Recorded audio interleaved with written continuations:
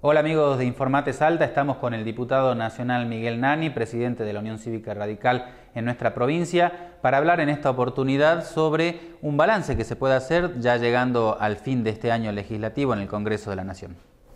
Ha sido, ¿cómo andas hermano? ¿Bien? ¿Cómo estás? Bien. Bueno, ha sido un año intenso, ¿no? Eh, muy intenso. No ha sido un año más para el Congreso, hemos trabajado muchísimo. Yo hago la metáfora siempre de que hemos entrado al quirófano con un paciente y le hicimos de todo. Ese fue el trabajo del Congreso, las leyes más determinantes de, la Argentina, o los hechos políticos más determinantes de la Argentina de hoy, fueron el epicentro, fue el Congreso, ¿no? así que un año intenso, sesiones muy duras, muy largas, eh, y hacia afuera tratar de resolver los problemas de la gente, ¿no? para eso hicimos estas leyes, así que no ha sido un año más, un año interesante, un año de transición, este año se termina la transición y el Congreso el año que viene también va a tener un desafío enorme hablando de desafíos, justamente tiene que ver con que el macrismo no tenía, o el PRO no tenía mayoría y era necesario, digamos, buscar acuerdos con otros sectores para sacar algunas leyes fundamentales. Este fue el año del diálogo, fíjate que tal cual lo vos decís, nosotros tenemos un tercio, menos somos la primera minoría, somos una minoría, sin embargo han salido todas las leyes que nos propusimos sacar adelante. Eso habla de que este, haciendo un balance ya de lo que es el año, fue el año del diálogo, ¿no? después de 12 años de haber cortado todo tipo de diálogo, fue el año de, los acuerdos en el buen término, en el buen sentido de haber sentarte con las otras fuerzas, consensuar, las leyes no salen, si no se consensúan está muy bueno, porque cada uno este, gana un poquito y pierde un poquito, ¿no? pero se cuida el interés de todos.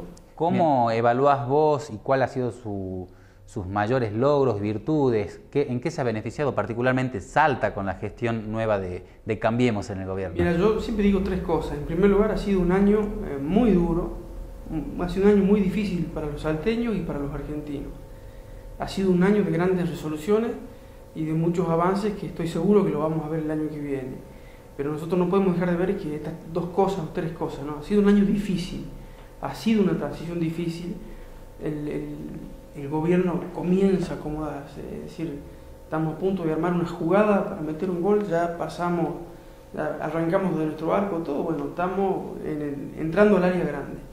Me parece que ese es el camino que estamos transitando y yo estoy convencido que, a ver, pese a los sacrificios, a, todo lo que cargamos en las espaldas, los salteños, los argentinos, el año que viene va a ser un buen año, va a ser un año dificilísimo, pero vos fíjate, eh, se han logrado grandes cosas. En primer lugar, salir de este estado de cesación de pago que teníamos a principio de año, la reparación histórica para los jubilados, comienza a activarse el plan Belgrano, eh, las políticas sociales se han profundizado, sobre todo acá en Salta.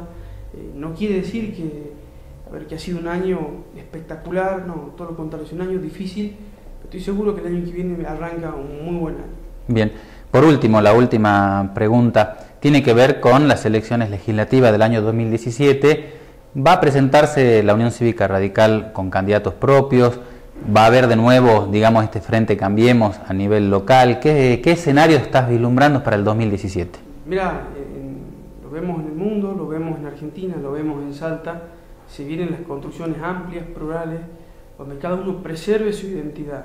Nosotros, eh, obviamente que tenemos eh, muchos amigos, simpatizantes, vamos a ir eh, con candidatos propios, pero siempre cuidando la, referencia de Cambiemos, que el compromiso que usamos con la gente, ¿no? Pero, pero nosotros desde, nuestra fuerza, desde nuestro, nuestro pequeño, gran lugar, vamos a presentar candidatos propios y, que, porque queremos aportar a esta construcción de Cambiemos, ¿no? Estoy seguro que hemos crecido mucho, por eso digo que es un pequeño, gran lugar, Hoy el, radicalismo eh, tiene anclaje en toda la provincia y creo que eso es muy bueno para ofrecérselo a Cambiemos y a los salteños. ¿Y se puede dar algún nombre ya dentro de lo que va a ser el radicalismo? Bueno, se han todos muchos, la verdad. Pero la otra semana vengo y pero, pero, pero no, hay, hay muchos que quieren. Este, la verdad pero está bueno, si hay muchos que quieren es porque tienen ganas de participar, ¿no? Eh, va a ser creo una gran sorpresa, porque va a haber eh, dentro de nuestra misma fuerza eh, mucha gente quiere competir y a mí eso me parece espectacular. Buenísimo. Muchas gracias, Miguel.